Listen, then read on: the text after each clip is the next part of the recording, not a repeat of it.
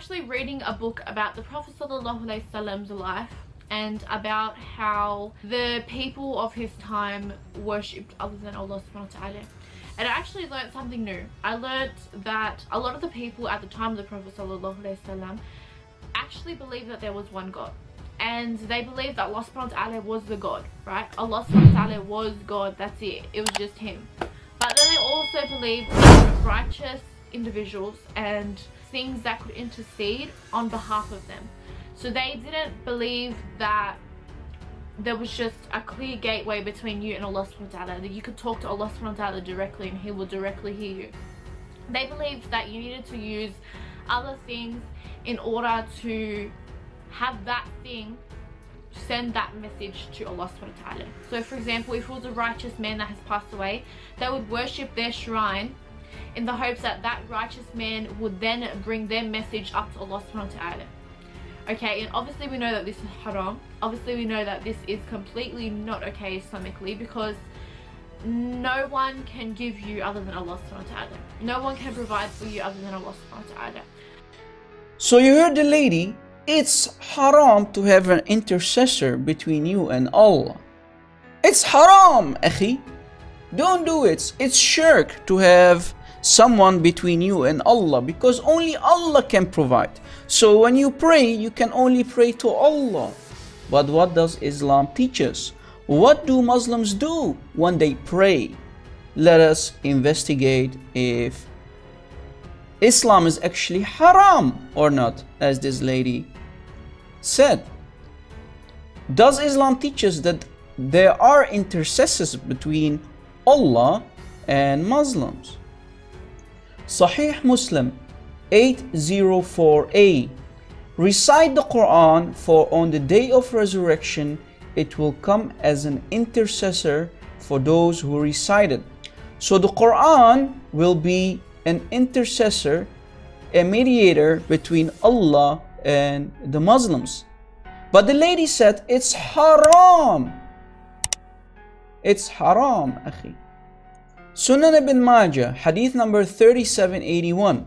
Abu Umama said, he heard Allah's messenger say, recite the Quran for on the day of resurrection it will come as an intercessor for those who recite it. An intercessor between Allah and the Muslims. Last time I checked, the lady says, it's haram. Akhi,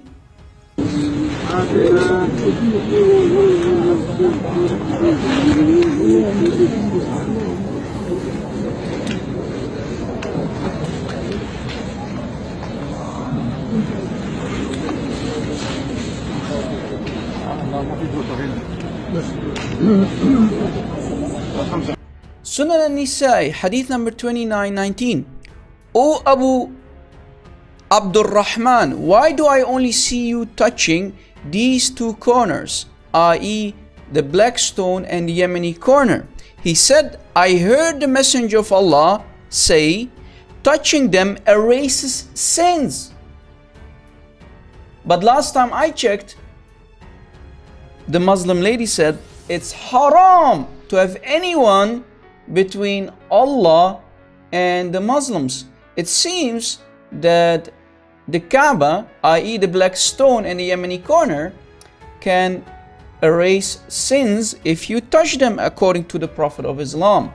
So it seems that Muslims are actually not thinking and they have no clue about the fact that there are always in Islam objects between Allah and the Muslims. Not only that, even Muhammad can be an intercessor and Muslims actually pray to Muhammad when they pray their five daily prayers. Watch. Let me explain. Most of the time, when Muslims are praying, they're reciting words that are directed towards Allah. But there's a part of their prayers where they say, Assalamu alayka ayyuhan nabiyyu. Here's an example from a Muslim video explaining how to perform salah, Islamic prayer and worship. Assalamu alayka أيها النبي Why is this important? Well, Assalamu alayka ayyuhan nabiyyu doesn't mean peace be upon the Prophet or God please send peace upon the Prophet. It means peace be upon you, O Prophet.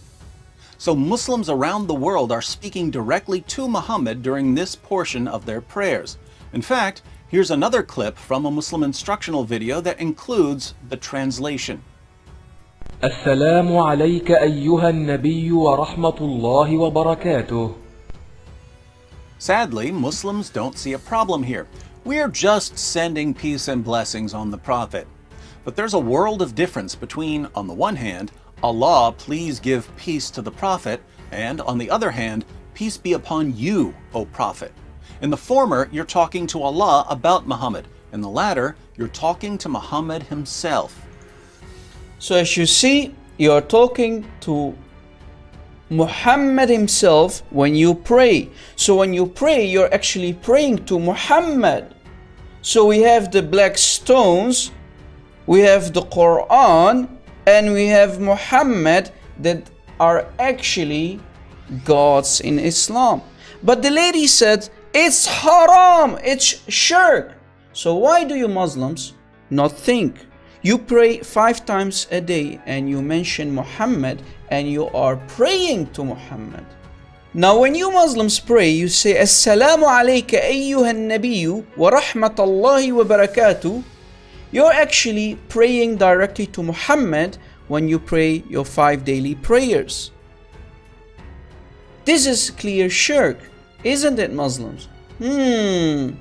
You Muslims don't see the hypocrisy here?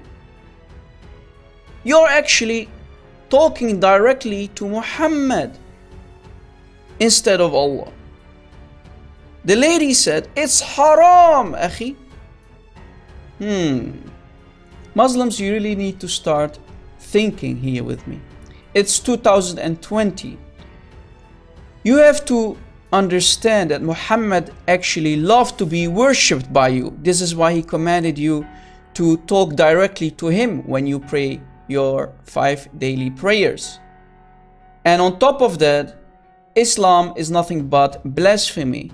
Kissing and touching the black stone and the Yemeni corner because they can erase sins. And on top of that, the Quran that will come as a pale man and intercede for all the Muslims. Muslims, clearly this is not haram, is it? Hmm.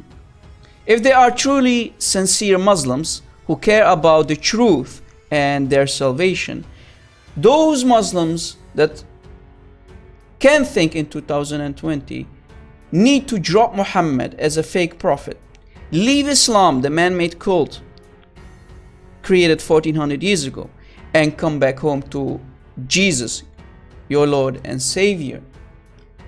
Thank you for watching. Please download this video and share it all around social media. Thank you for watching and God bless.